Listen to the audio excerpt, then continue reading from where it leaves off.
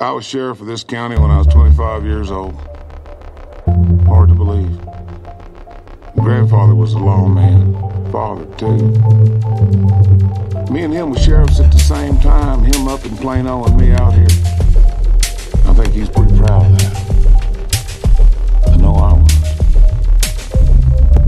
Some of the old-time sheriffs never even wore a gun. A lot of folks find that hard to believe. Jim Scarborough never carried one. That's the younger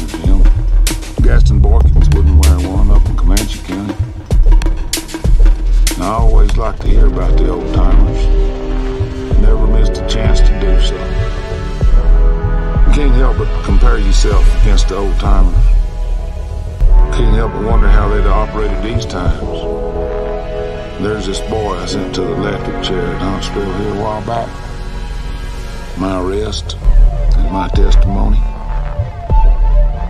He killed a 14-year-old girl. Papers said it was a crime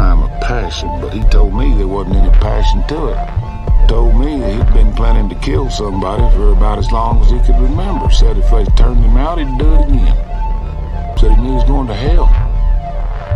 Be there in about 15 minutes. I don't know what to make of that.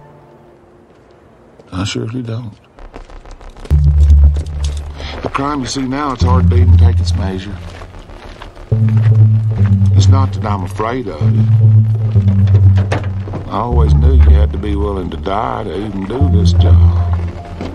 But I don't want to push my chips forward and go out and meet something I don't understand.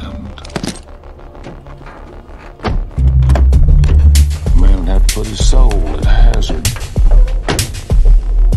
You'd have to say, okay.